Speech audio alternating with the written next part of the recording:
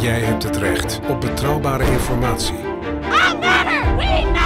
Om alle kanten van het verhaal te horen.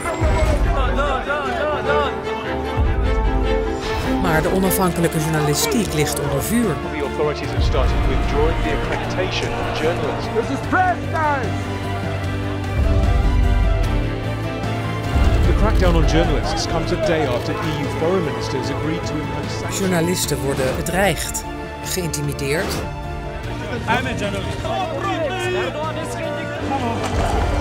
aangevallen.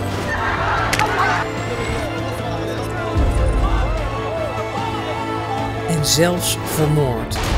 He was going to collect documents for his forthcoming marriage, but Jamal Khashoggi never came out. 11 killed so far this year just for doing their jobs. Free Press Unlimited beschermt journalisten wereldwijd. Omdat jij het recht hebt op betrouwbare informatie. Steun freepressunlimited.org. Juist nu.